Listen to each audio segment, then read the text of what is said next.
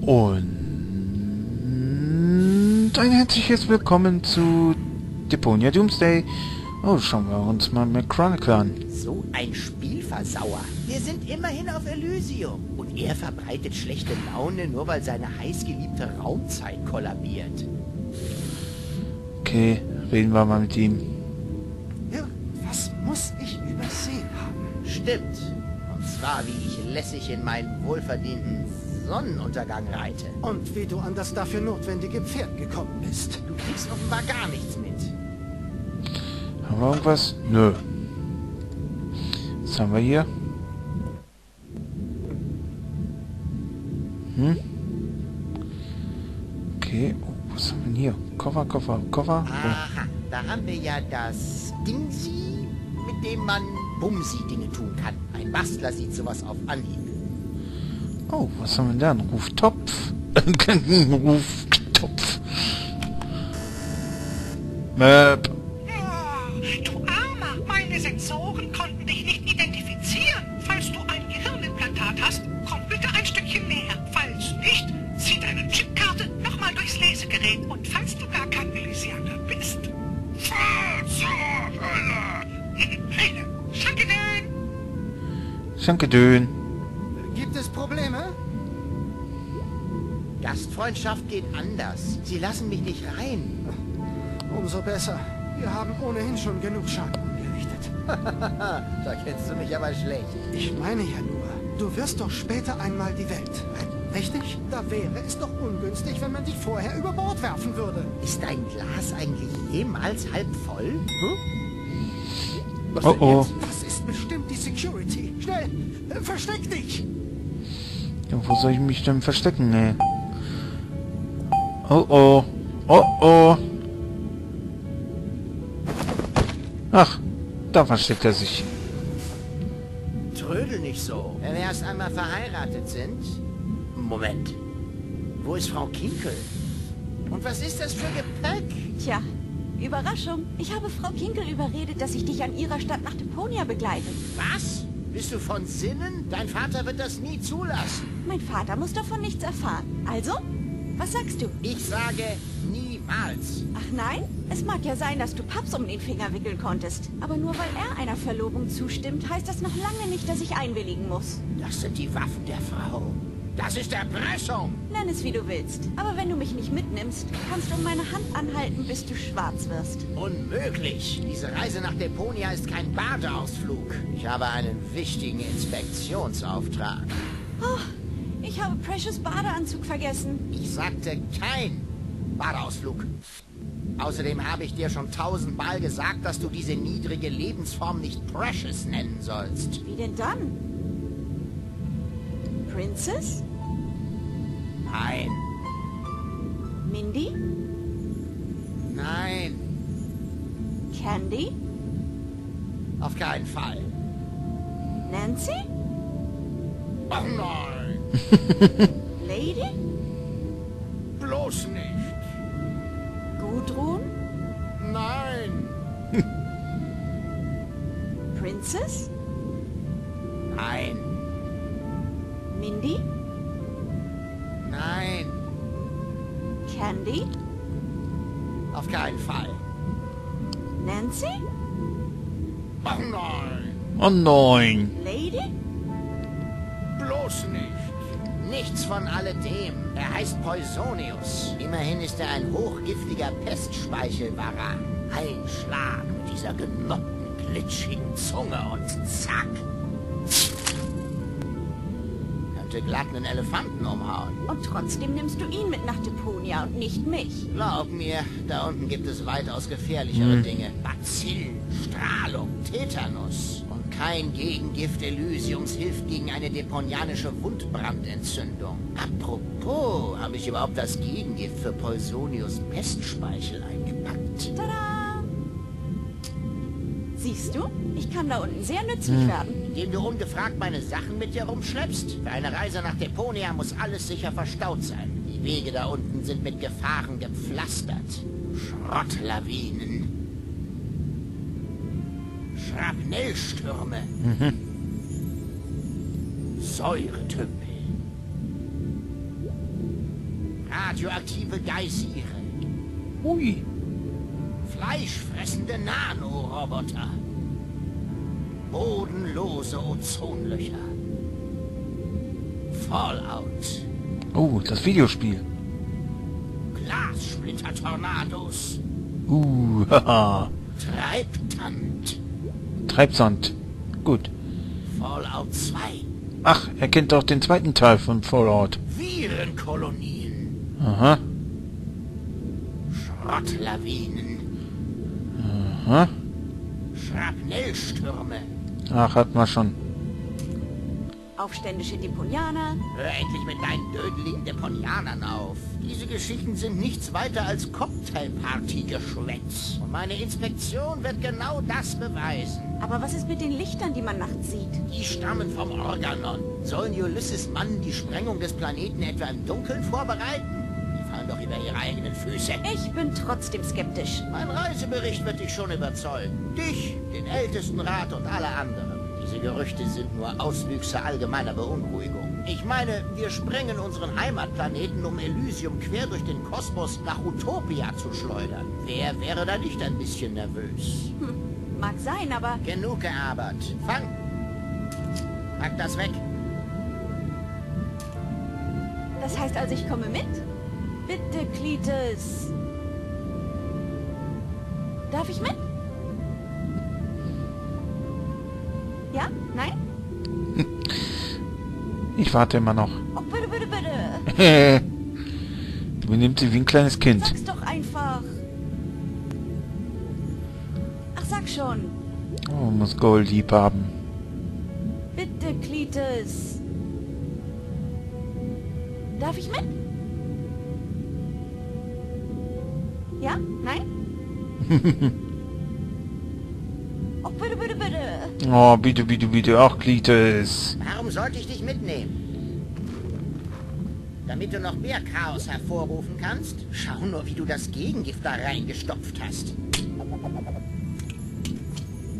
Welche Tasche ist das überhaupt? Die mit den Rattenfallen. Rattenfallen? Oh, Frauen, da unten lebt nichts mehr. Nicht mal eine Ratte? Nein, Aber Mäuse doch wohl. Ja, wir warten mal wieder ein bisschen. auch nicht.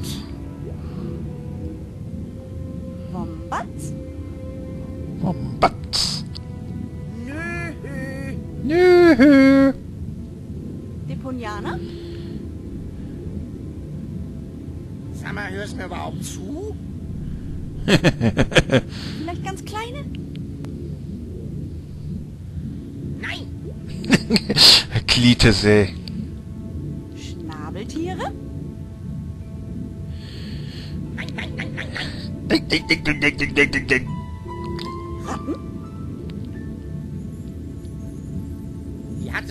trotzdem nein. Äh, Aber Mäuse doch wohl. Auch nicht. auch nicht. Wombats? Oh, wie sich das anhört. Wombat. Nö. Und das dann von Klites die Antwort. Nö. Deponianer?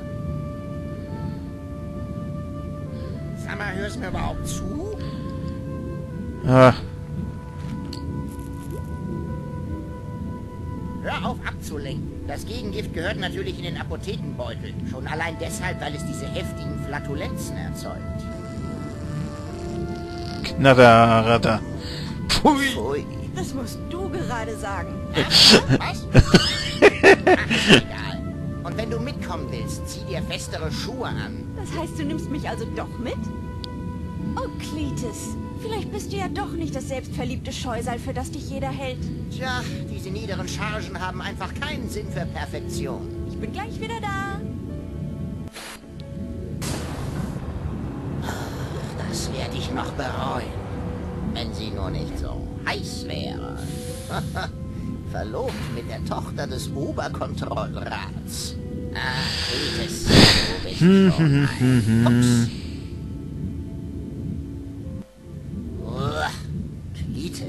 Vermaledeite Schmierlappen. Wenn ich dafür sorge, dass er diesmal ohne Goal nach Deponia reist, bleibt es hoffentlich bei diesem kurzen Cameo-Auftritt. Wissenswert wäre, wie komme ich unentdeckt an ihm vorbei?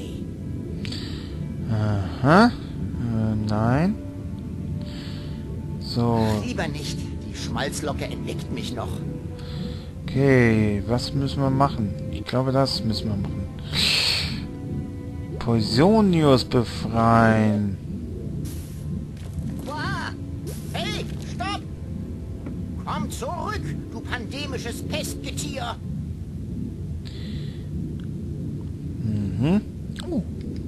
Gebe ich jetzt für einen echten Laser? So. Warte mal. Vielleicht...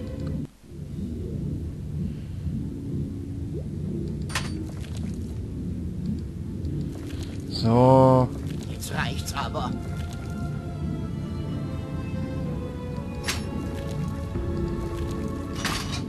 Komm her!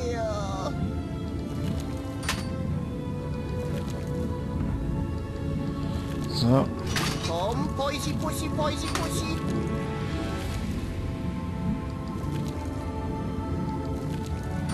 Böser Pestspeichel-Varan! So, dann muss ich mal kurz hier hin.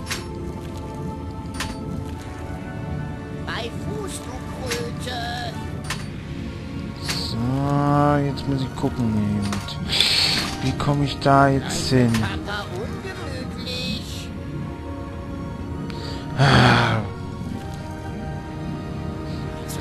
reicht's aber.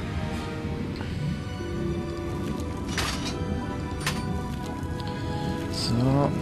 Komm her!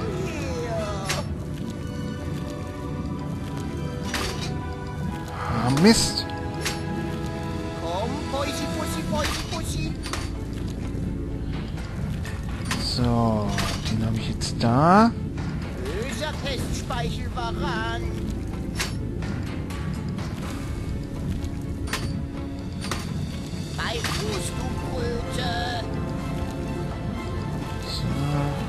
Hin. Gleich wird Papa ungemütlich. Ah, Jetzt reicht's aber.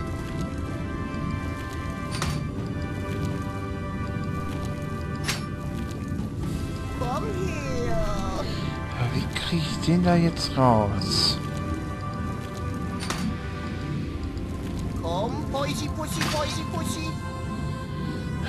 Ich muss ihn irgendwie da... Böser Pestspeichel-Varan! So. Bei Fuß, du Kröte!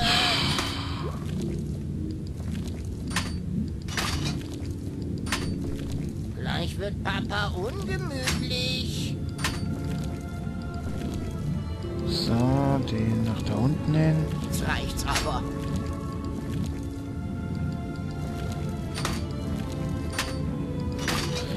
Ah, wie war der denn jetzt nochmal? Das ist jetzt wieder...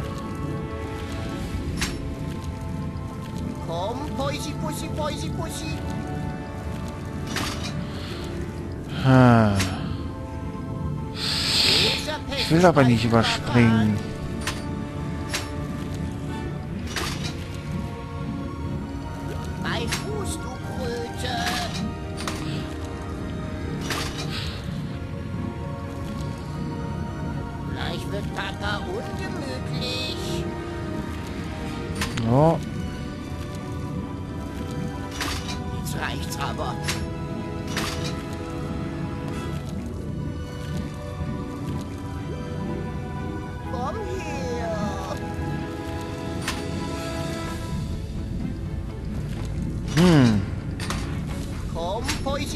Pussi! Ich muss dahin. Böser Pestspeichel-Varan! So. Bei Fuß, du Kröte!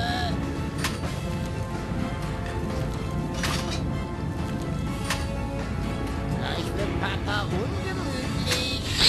So, der ist jetzt da.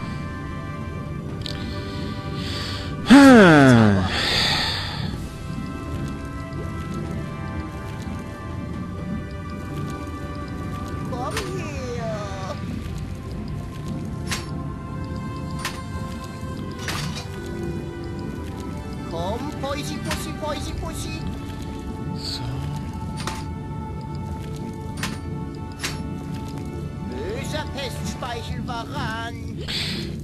So, der ist da. Fuß, du Kröte. Hm. Gleich wird Papa ungemütlich.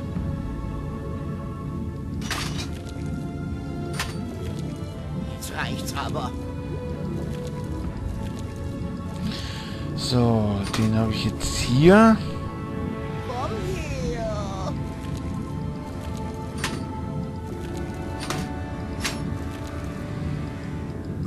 Poisi, Pussy, Poisi, Pussy. Ah, bringt nichts, ich werde da drüber Böser springen. Pestspeichel war ran. Jo.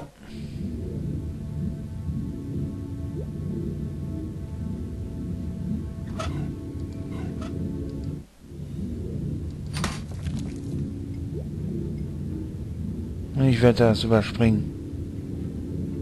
Jetzt reicht's aber.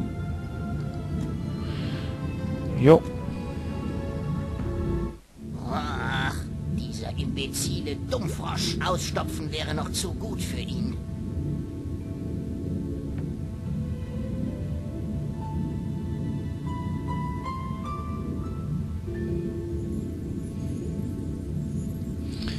So, dann gehe ich mal kurz runter.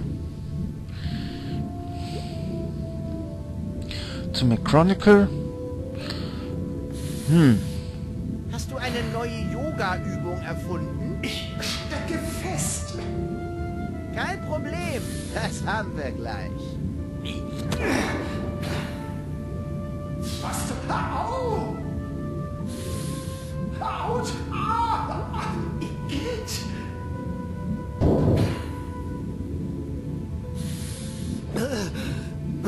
Was war das nun schon wieder für ein Ungetüm? Mir ist auf einmal so... Ja, ja, wie ist mir denn? Oh. Ah, und jetzt geben wir ihm mal schnell das Gegengift. Hier, nimm das. Dann geht's dir gleich besser. Du bist ein guter Mensch.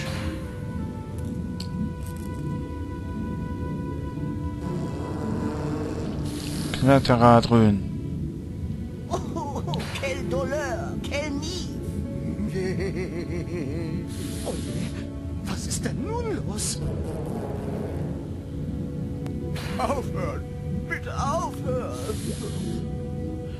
Jetzt können wir wieder hoch und, sie, und uns die Karte schnappen, ey.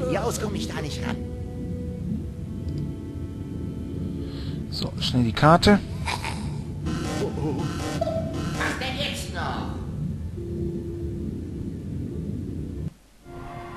Oh, das Hochburg kommt.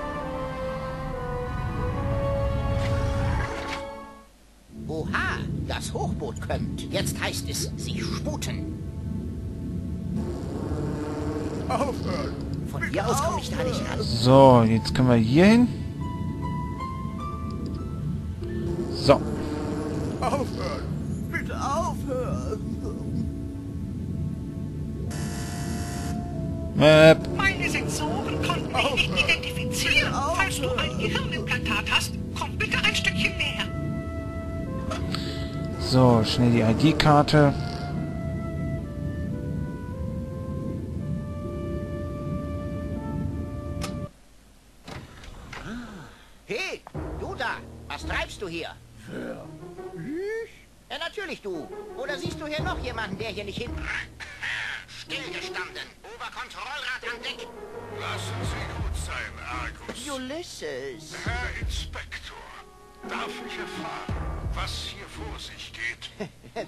Wenn ich es wüsste.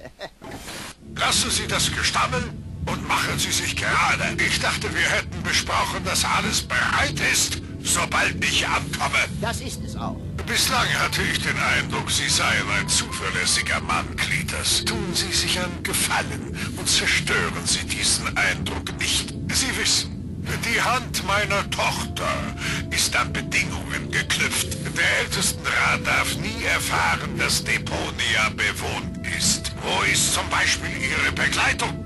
Sie wollten sie mir noch vorstellen. Ach, äh, meine Assistentin. Sie hatte noch was vergessen. Sie wissen ja, wie Frauen sind. Vergessen? Himmel, Klites. Ich dachte, sie hat ein Gehirnimplantat. Sie haben für sie gebürgt. Aber eingeweiht ist sie doch bereits, oder? Oh, oh, oh ja, selbstverständlich. Äh, komplett instruiert. Alles Paletti, kein Grund zur Veranlassung. Hoffentlich. Argus, sorgen Sie dafür, dass die Assistentin die Aufstiegscodes ins Implantat geladen bekommt. Sehr wohl, Herr Oberkontrollrat. Und haben Sie ein Auge auf die Zivilisten. Ich gehe nun duschen. Es wird wirklich Zeit, dass dieser Drecksplanet endlich gesprengt wird. Rühren! Was ist los, Cletus? Sie wirken nervös. Nervös ist gar kein Ausdruck. Gold stimmt der Verlobung nur zu, wenn sie mich begleiten darf. Oh. Nicht mal verlobt und schon unter dem Pantoffel. Ach, und das finden Sie lustig? Warum nicht? Sie werden es ihr ja hoffentlich wieder austreiben. Sie kennen sie nicht. Herrschaftszeiten, Kletis. Ulysses wird uns beiden... Ulysses darf nichts davon erfahren. Goal muss nur in ihrer Kabine bleiben. Solange sie keinen Deponianer zu Gesicht bekommt, ist alles in Ordnung. Es gefällt mir trotzdem nicht. Und wenn Sie beim Überspielen der Aufstiegscodes ein Backup Ihrer Erinnerungen machen, so könnten wir Ihre Erinnerung bei Bedarf einfach wieder zurücksetzen. Später. Ein Backup von ihrer Bewusstseinsdatasette und von den Aufstiegscodes. Ja, das könnte funktionieren. Da unten und schon stinkt alles nach Kot. Zum Glück ist bald Schluss damit. Und Goal kann auf einem saubereren Planeten leben. Ich hoffe, sie ist zu Hause. Mhm. Rot finde ich jetzt aber schon ein bisschen herzlos. Die Lautlosen sind nun mal die schlimmsten, na und? Jo, das war aber echt unterhaltsam, das Gespräch. So konnte ich ja kaum richtig reden. Hey. Okay, ich habe kaum geredet jetzt. Aber hier in diesem Spiel, also hier wird mehr geredet. Muss ich sagen. Und... Tja. Was soll ich sagen? Hm. Okay. So. Hm, also, wie es bei Deponia Doomsday weitergeht, erfahrt ihr in der nächsten Folge. Also bis zum nächsten Mal. Euer Corganto bei Deponia Doomsday. Oh.